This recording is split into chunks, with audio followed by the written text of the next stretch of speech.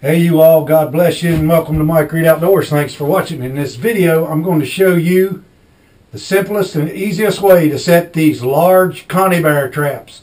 I don't know how many times in the past that I've went out on cold winter days and even some warm days and had to take an animal out of one of these big conibear traps and uh, them springs you all will just absolutely murder you if you're not really careful. So this trap's already set, and I'm going to show you exactly how easy it is to reset your trap. All right. These traps will murder you. Okay, so get you a piece of rope, you all. This is half inch braided rope. It's about 48 inches long, but it doesn't have to be that long. Carry this in your pack.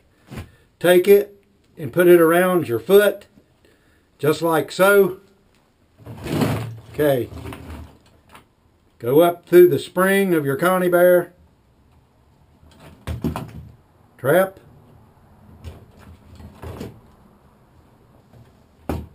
Just like that. Then go up through that spring again.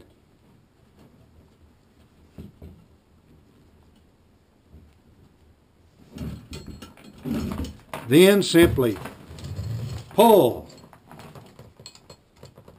and put your safety hook on it.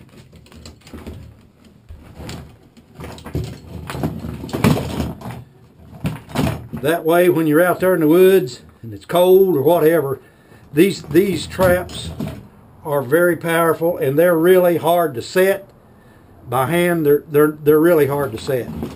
So let's see that one more time. Just pull that up. Find your safety hook.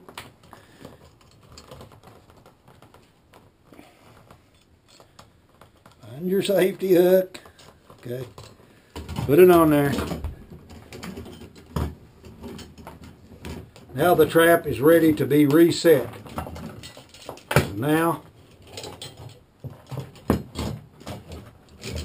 line those up.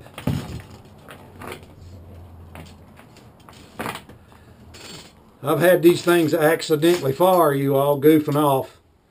I've had them accidentally fire and hit me right in the arm, in the elbow. And that was even with a jacket on. These things can hurt you really bad. So there's the trap ready for action.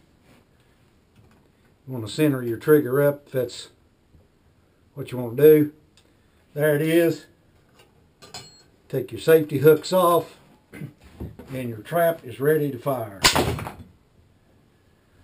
Anyway, you all, stay safe out there. That's the way you set a conibear trap on the trap line and you do it the safe way without breaking your hands or getting uh, uh the easiest way to get an animal out of a conibear trap. God bless you and thanks for watching. Until next time, have yourself a great day.